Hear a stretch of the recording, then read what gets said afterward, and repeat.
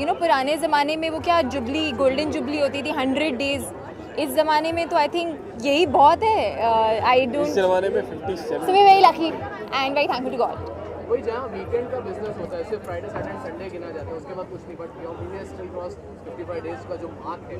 सो आपको ऐसा लगता है कि आप जो एक्सपेरिमेंटल मूवीज़ है या जो मतलब जो कंटेंट रिलेटेड मूवीज़ है उसको और बढ़ावा दिया जा रहा है? एब्सोल्युटली यार यूथ ओरिएंटेड है और क्या चाहिए? अभी सारी यूथ ही देखी जाएगी और वो दो दो तीन तीन बार भी जाते किसी के ब्रेकअप हो रहे हैं किसी के जुड़ रहे हैं।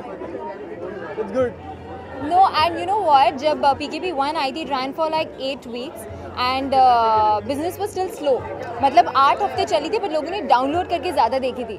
जब P K P two I know that's a fact लोगों ने ज़्यादा डाउनलोड करके देखी थी। So it is actually I think one of the most downloaded film in recent times another tag but you know P K P two से हमें उम्मीद थी कि हाँ बिज़नेस तो अच्छा कर लेगी जो उसने किया थैंकफुली बट इतने हफ़्ते भी चलेगी which is like a super bonus so female cast की अगर बात करें ये दोनों मूवीज़ में रिटेन रही. कैन वी एक्सपेक्ट कि पीकेपी 3 में भी आप तीनों सेम रहेंगे? वो तो डायरेक्टर की कॉल है. बट अगर हम रहे और हमारे पॉइंट ऑफ़ व्यू से फ़िल्म नहीं बनी तो? ये मैं बिग एंटरटेनमेंट अवार्ड्स में दावा करके जाती हूँ. मैं लव रंजन के साथ पता नहीं क्या करूँगी शायद बोलूँगी प्लीज़ हमारे पॉइंट ऑफ़ व्यू से बना दो but I hope so I hope thank you